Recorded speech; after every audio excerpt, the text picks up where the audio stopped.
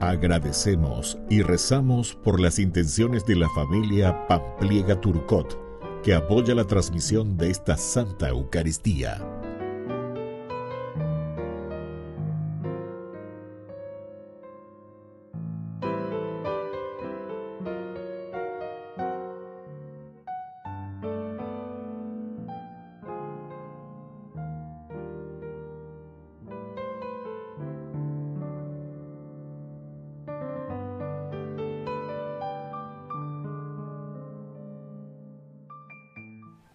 Hermanos, bienvenidos a nuestra celebración.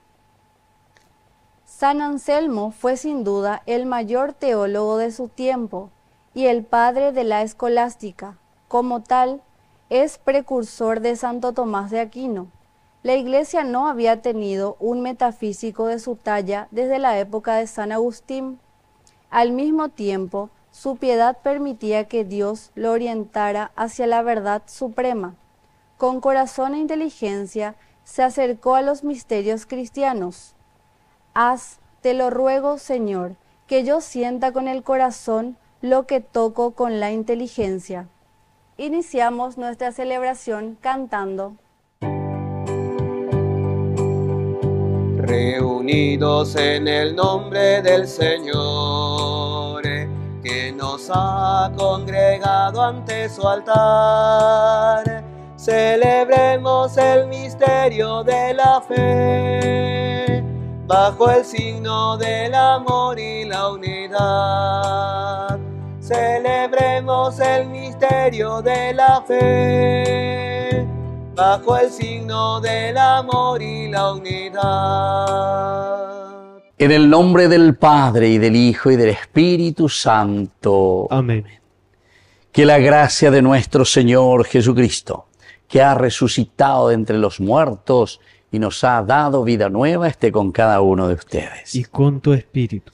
Queridos hermanos, estamos en esta segunda semana del tiempo de Pascua. Nos reconocemos pecadores ante el Señor y le pedimos humildemente perdón por todas nuestras faltas y pecados.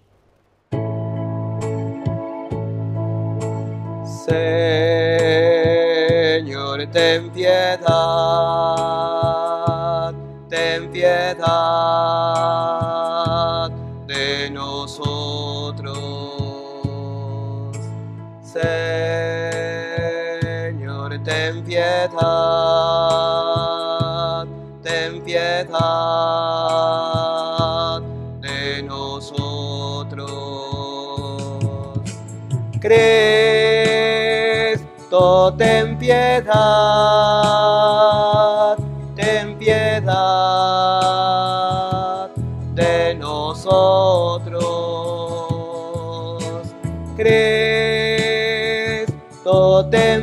ten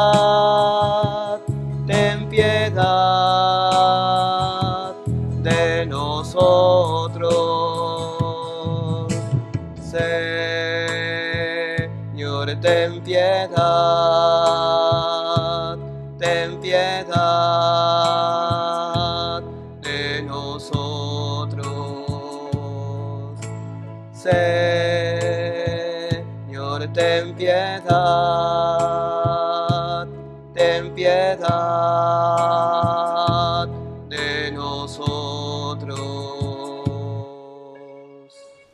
Y Dios, que es un Papa bueno, tenga misericordia de nosotros, perdone todos nuestros pecados y nos lleve a la vida eterna. Amén.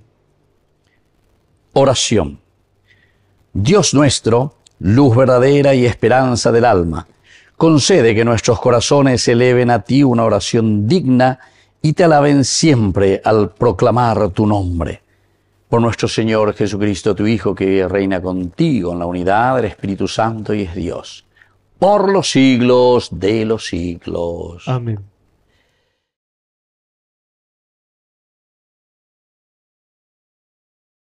Lectura de los Hechos de los Apóstoles. Un fariseo llamado Gamaliel, que era doctor de la ley, respetado por todo el pueblo, se levantó en medio del Sanedrín. Después de hacer salir por un momento a los apóstoles, dijo a los del Sanedrín, Israelitas, Cuídense bien de lo que van a hacer con esos hombres. Hace poco apareció Teudas, que pretendía ser un personaje, y lo siguieron unos 400 hombres. Sin embargo, lo mataron. Sus partidarios se dispersaron y ya no queda nada. Después de él, en la época del censo, apareció Judas de Galilea, que también arrastró mucha gente. Igualmente murió y todos sus partidarios se dispersaron. Por eso, ahora les digo, no se metan con esos hombres y déjenlos en paz. Porque si lo que ellos intentan hacer viene de los hombres, se destruirá por sí mismo. Pero si verdaderamente viene de Dios, ustedes no podrán destruirlo y correrán el riesgo de embarcarse en una lucha contra Dios. Los del Sanedrín siguieron su consejo, llamaron a los apóstoles, y después de hacerlos azotar, les prohibieron hablar en el nombre de Jesús y los soltaron. Los apóstoles, por su parte, salieron del Sanedrín, dichosos de haber sido considerados dignos de padecer por el nombre de Jesús. Y todos los días, tanto en el templo como en las casas, no cesaban de enseñar y de anunciar la buena noticia de Cristo Jesús. Palabra de Dios. Te alabamos, Señor.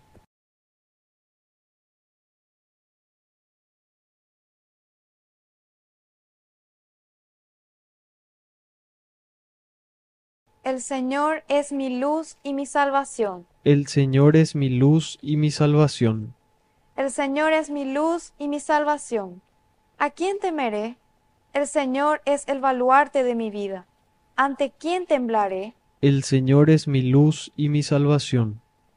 Una sola cosa he pedido al Señor, y esto es lo que quiero, vivir en la casa del Señor todos los días de mi vida, para gozar de la dulzura del Señor y contemplar su templo. El Señor es mi luz y mi salvación. Yo creo que contemplaré la bondad del Señor en la tierra de los vivientes. Espera en el Señor y sé fuerte. Ten valor y espera en el Señor. El Señor es mi luz y mi salvación. Ale, ale, aleluya. Ale, ale, aleluya. Ale, ale, aleluya. Aleluya, aleluya. Aleluya, aleluya. Que el Señor Jesús esté con ustedes. Y con tu espíritu. Evangelio de nuestro Señor Jesucristo según San Juan. Gloria a ti, Señor. Jesús atravesó el mar de Galilea llamado Tiberíades. Lo seguía una gran multitud. Al ver los signos que hacía sanando a los enfermos, Jesús subió a la montaña y se sentó allí con sus discípulos. Se acercaba la Pascua, la fiesta de los judíos. Al levantar los ojos, Jesús vio que una gran multitud acudía a él y dijo a Felipe, ¿dónde compraremos pan para darles de comer? Él decía esto para ponerlo a prueba, porque sabía bien lo que iba a hacer. Felipe le respondió, doscientos denarios no bastarían para que cada uno pudiera comer un pedazo de pan. Uno de sus discípulos, Andrés, el hermano de Simón Pedro, le dijo, Aquí hay un niño que tiene cinco panes de cebada y dos pescados. ¿Pero qué es esto para tanta gente? Jesús le respondió, háganlo sentar. Había mucho pasto en ese lugar, todos se sentaron y eran unos cinco mil hombres. Jesús tomó los panes, dio gracias y los distribuyó a los que estaban sentados. Lo mismo hizo con los pescados, dándoles todo lo que quisieron. Cuando todos quedaron satisfechos, Jesús dijo a sus discípulos, recojan los pedazos que sobran para que no se pierda nada. Los recogieron y llenaron doce canastas con los pedazos que sobraron de los cinco panes de cebada. Al ver el signo que Jesús acababa de hacer, la gente decía, este es verdaderamente el profeta que debe venir al mundo. Jesús, sabiendo que querían apoderarse de él para hacerlo rey, se retiró otra vez solo en la montaña. Palabra del Señor. Gloria a ti, Señor Jesús. Queridos hermanos, qué lindo aquí el Evangelio que nos presenta el autor sagrado, San Juan. ¿Cómo nos presenta San Juan Aquí es un Jesús que primero dice que va atravesando Galilea, el mar de Galilea. Sabemos que siempre el mar, el agua significa obstáculo, peligro, dificultad. Pero dice la, el agua, el mar. Moisés que abre el mar y podemos atravesar dificultad, problema, obstáculo. La presencia de Dios, el obedecer, el escuchar la voz de Dios, hace que nosotros podamos entonces abrir el mar, caminar sobre el agua, caminar sobre el mal. Entonces, todas estas significancias son muy importantes. De nuevo Jesús se encuentra cerca del mar de Galilea. Vamos a tener algún problemita entonces. Lo seguía una gran multitud. Todos le siguen a Jesús, todos te queremos Jesús, porque estás haciendo milagros. Esto es importante, ¿verdad? El milagro de la sanación. Pero, pero, pero, quiero acotar esto, porque ya muchas veces ya la palabra milagro, ah, ya enseguida, ya jamás, hoy mala milagro. No.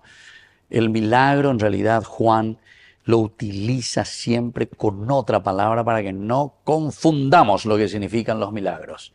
Signos utiliza San Juan, signos. El Señor realiza signos, signos de su presencia, signos de que Él verdaderamente está con nosotros, porque el verdadero milagro, esa consecuencia de un adherirse al Señor, de obedecer y de escuchar la voz del Señor, hace que nosotros consigamos que la gracia de Dios se realice en nuestra vida. ¿Me La gracia de Dios que ya está en nosotros se despierte, se realice, trabaje, seamos felices, conquistemos la felicidad.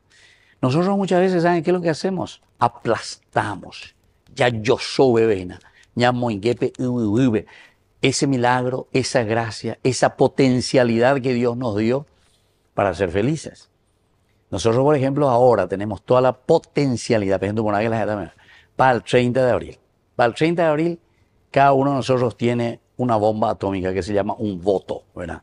Andela es estamos de votágina por todos esos corruptos que siempre son los más conocidos, los bicuabonados y la eh, se llamaba la corrupta. Oye, votar, ahí está, tu bomba atómica, o te destruyó al país porque le votaba ahí Yeguma, o si no, también tenés la posibilidad de que destruya ese mal y esa corrupción, ¿entendiste? Así de sencillo. Y entonces por eso el Señor justamente aquí está realizando milagros, ofrece la posibilidad, te ofrece. Este es el momento en que nosotros vamos a realizar un gesto de milagro para nuestra nación, de cambio para nuestra Pero vea la milagro de Gina, ¿entienden? Vea la milagro de Gina, o si no vamos a seguir por secula seculorum de la misma manera. Ahora se nos dice bien, ¿verdad? Se acercaba la Pascua, la fiesta de los judíos. ¿Por qué será que te mete aquí esto? San Juan te tira una bomba también aquí, ¿verdad? Como diciéndote, ¿saben qué? La Pascua que había quedado simplemente en un ritualismo, porque Pascua significa paso, paso, algo nuevo. Hoy, cuana lleva peñandereco, peñandellare, cuana la Eso es lo que quiere decir Pascua, el paso que tenemos que dar. Y entonces cuando te está diciendo que se acercaba la Pascua, la fiesta de los judíos, te está diciendo, atención, que los judíos hablan guau, ¿verdad? De un cambio, de un paso, pero hay que ver si eso sucede. Y aquí, Jesús que se da cuenta que esta multitud que tiene necesidad de Dios, tiene hambre de Dios, ¿dónde compraremos pan para darles de comer? Le pregunta a Felipe, es decir, a la comunidad, nos pregunta a nosotros, dale socio, moña de, moña nojeta lleva, un poco de paña, mongaruja, con ahí variedad. Y él decía para ponerlo a prueba. Y ahí ya reaccionamos. A negativamente, no, señor, 200 denarios, ya entienda, ya escuela, plata, pega, que vamos, esta ahí a ella. Esta hay plata, dejándome de A veces le no me a ¿verdad? 200 denarios, señor, no va a ser suficiente para que cada uno pueda comer un pedazo de pan. Andrés, el hermano de Simón Pedro, le dije, aquí hay un muchacho, un niño, un niño, que tiene cinco panes de cebada y dos pescados. Cinco, número de generosidad. Dos, número de comunidad. Es decir, la generosidad, número cinco, que hay en el número dos, que quiere decir la comunidad, entonces hace que suceda el milagro. ¿Pendendeba? Si somos generosos en la comunidad, suceden los milagros. ¿Cómo vamos a cambiar nuestro Paraguay? ¿Cómo vamos a cambiar todas estas pobrezas, todo esto que nosotros encontramos en nuestros semáforos, en nuestras calles, en nuestro país, en nuestras instituciones, en nuestras escuelas que se caen a pedazos, en nuestros niños que no saben ni leer, en nuestras profesoras y profesores mal pagados, en mucha gente, ¿verdad? Y en muchos planilleros que no trabajan, pero tú ya y sueldo, en muchos consejeros guau de aquí para allá, pero que en realidad no sé ni para qué, ¿verdad? ¿Qué consejo van a dar? Si, si Nindo y Guaymo va, ¿dónde está parado, verdad? Todo cuestiones de ubicaciones políticas, ¿verdad? Y así sucesivamente. Lastimosamente. Yo le digo lastimosamente. Bueno, pero por eso dice aquí, ¿verdad? Aquí hay un niño. El niño es el indefenso. El niño, diga tú, la ne mantene. Da ego la ne membera. Te la andera jimi, pemita, mita cuña mía lleva. Pemita mi la ne manteneta. Eso quiere decir, si el niño aparece aquí, nos está queriendo decir simplemente que Jesús obra maravillas a través de cosas tan sencillas. Eso es lo que nos quiere decir, ¿verdad?, del Señor hoy. Así es que tenemos que entender, queridos hermanos, que el Señor recibe lo sencillo, lo poco que tenemos, y es un niño el que ofrece, es nuestra sencillez, es nuestra pobreza. De nuestra pobreza somos solidarios y generosos damos lo poco que tenemos, pero miren ahora, cuando nosotros damos lo poco que tenemos, miren el gran milagro que puede realizar Dios. Si todos fuéramos generosos con lo poco que tenemos y no somos avaros, si no somos entonces personas que queremos mantener siempre ahí tacaños y nos cerramos con los bienes que tenemos que distribuir, ¿verdad? Que tenemos que hacer que todos puedan participar de ese bien de Dios. Entonces, ese niño, ese pobre, es el que ayuda a que exista el milagro para la comunidad, para la humanidad.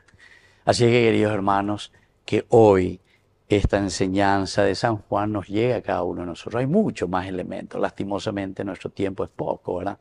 No les quiero cansar tampoco, pero que ojalá quede esto en nuestro corazón. Ser generosos, número cinco. En comunidad, número dos. Y entonces le damos al Señor lo poco que somos y tenemos y Dios realiza milagros y maravillas para la humanidad. Que así sea. Que así sea.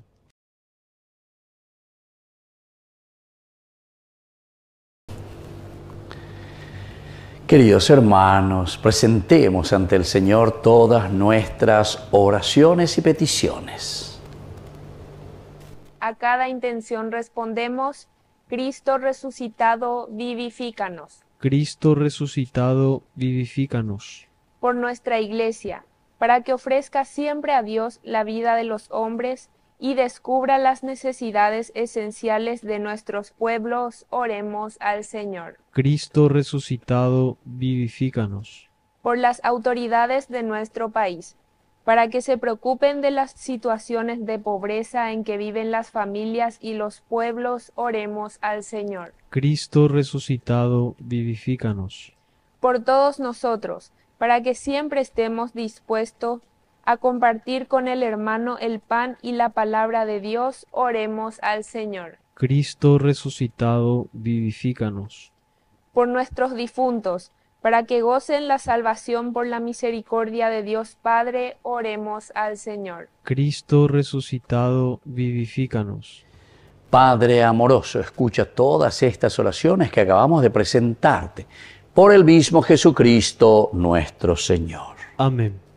por los niños que empiezan la vida, por los hombres techo ni hogar, por los pueblos que sufren la guerra.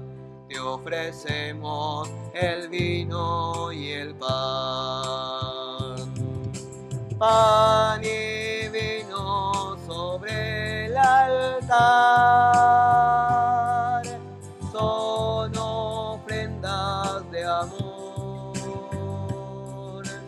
Pan y vino serán después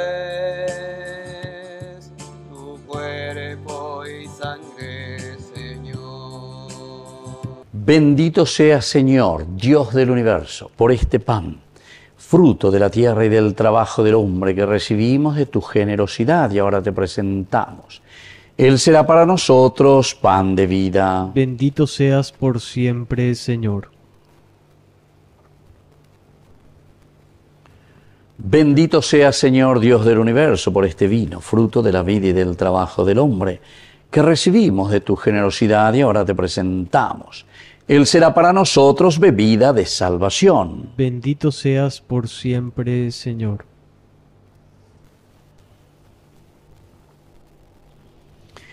En el momento de ofrecer el sacrificio de toda la iglesia, recemos a Dios Padre Todopoderoso. El Señor reciba de tus manos este sacrificio para alabanza y gloria de su nombre, para nuestro bien y el de toda su santa iglesia. Oración.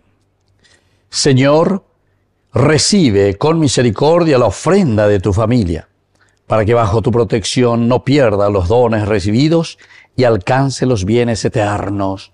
Por Jesucristo nuestro Señor. Amén. Que el Señor Jesús esté con ustedes. Y con tu espíritu. Levantemos el corazón. Lo tenemos levantado hacia Demos el gracias al Señor nuestro Dios. Es justo y necesario. En verdad es justo y necesario nuestro deber y salvación, glorificarte siempre, Señor, pero más que nunca en este tiempo en que Cristo, nuestra Pascua, fue inmolado. Por Él, los hijos de la luz nacen a la vida eterna y las puertas de los cielos han vuelto a abrirse para los que creen en Él, ya que en su muerte murió nuestra muerte y en su gloriosa resurrección hemos resucitado todos. Por eso, con esta fusión de gozo pascual el mundo entero se desborda de alegría y también los coros celestiales, los ángeles y los arcángeles cantan sin cesar el himno de tu gloria.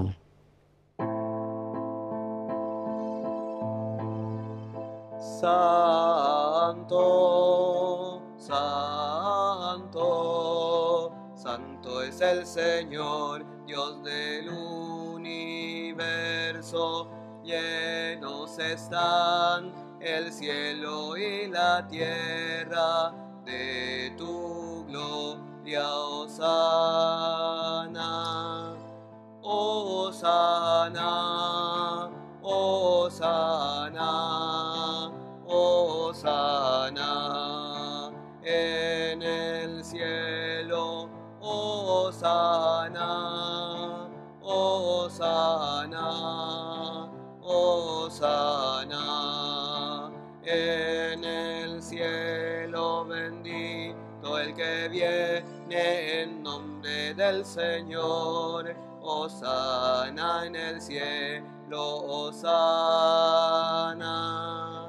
Osana, Osana,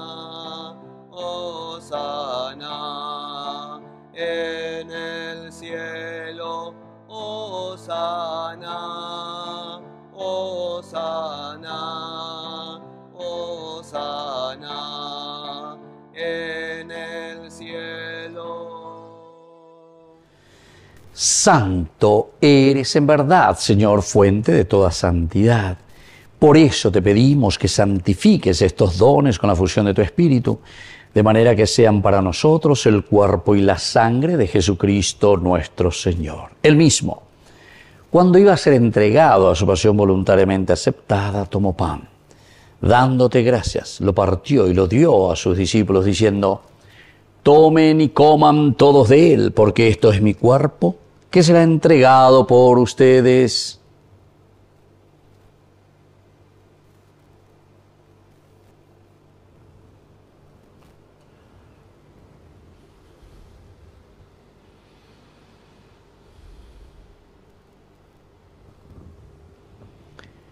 Del mismo modo, acabada la cena, tomó el cáliz, dándote gracias de nuevo, lo pasó a sus discípulos diciendo, Tomen y beban todos de él, porque este es el cáliz de mi sangre, sangre de la alianza nueva y eterna, que sea derramada por ustedes y por muchos para el perdón de los pecados.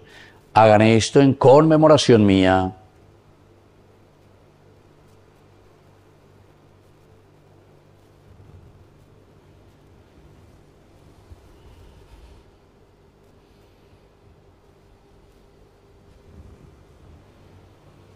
Queridos hermanos, este es el sacramento de nuestra fe. Anunciamos tu muerte, proclamamos tu resurrección. Ven, Señor Jesús. Así pues, Padre, al celebrar el memorial de la muerte y resurrección de tu Hijo, te ofrecemos el pan de vida y el cáliz de salvación, y te damos gracias porque nos haces dignos de servirte en tu presencia. Te pedimos humildemente que el Espíritu Santo congregue en la unidad a cuantos participamos del cuerpo y sangre de Cristo. Acuérdate, Señor, de tu iglesia extendida por toda la tierra, con el Papa, con nuestro obispo, los pastores que cuidan de tu pueblo, llévala a su perfección por la caridad. Acuérdate también de nuestros hermanos que se durmieron en la esperanza de la resurrección y de todos los que han muerto en tu misericordia admítelos a contemplar la luz de tu rostro.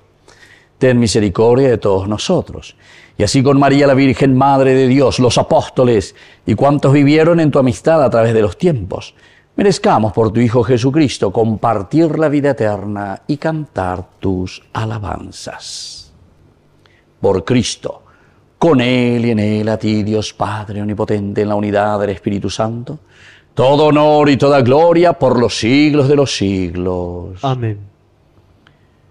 Y ahora, queridos hermanos, con mucha fe y con mucha confianza en el Jesús resucitado, decimos la oración que Él nos enseñó.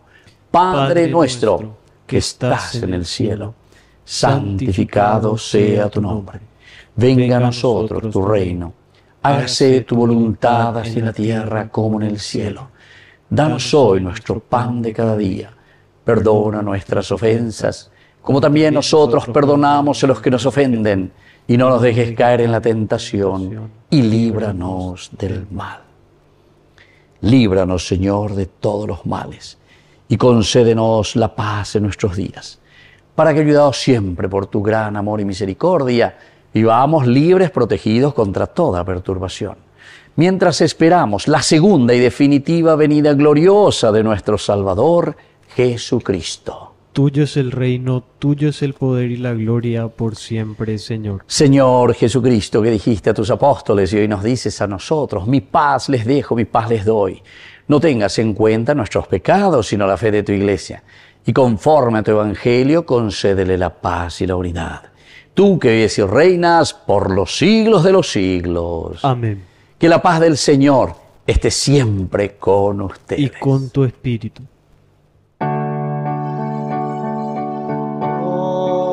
Cordero de Dios, que quitas el pecado del mundo, ten piedad de nosotros, ten piedad.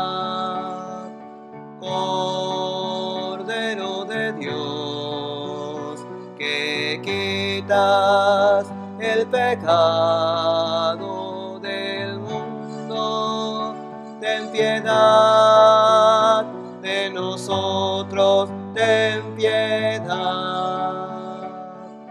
Cordero de Dios, que quitas el pecado del mundo, danos paz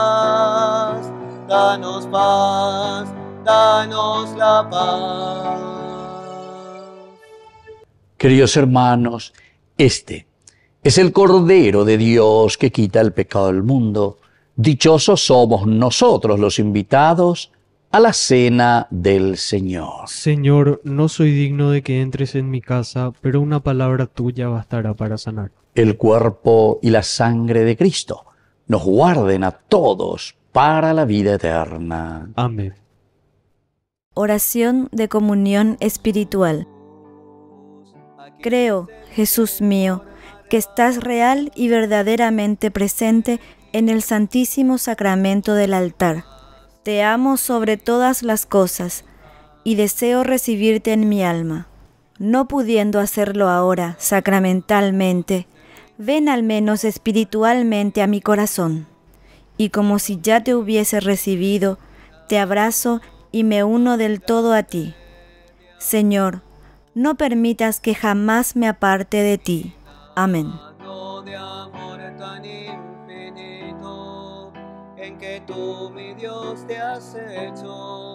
tan pequeño y tan humilde para entrar en mí. Milagro de amor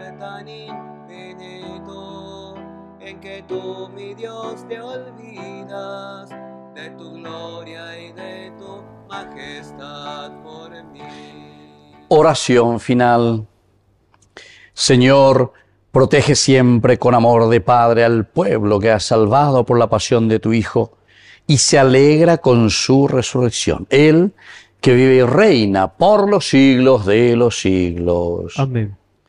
Que el Señor Jesús esté con ustedes. Y con tu espíritu. Y que la bendición de Dios omnipotente, el Padre, el Hijo y el Espíritu Santo descienda sobre cada uno de ustedes y permanezca para siempre. Amén.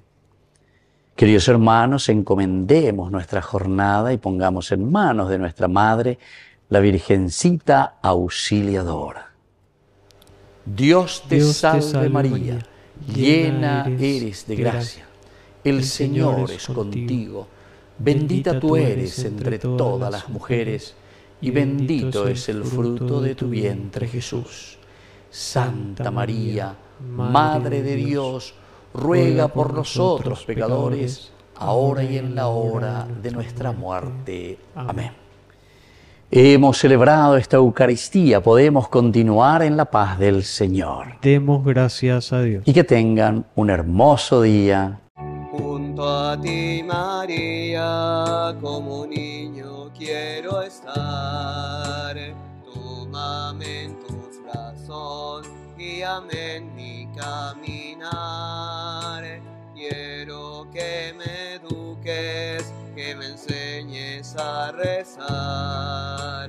Hazme transparente, lléname de paz. Madre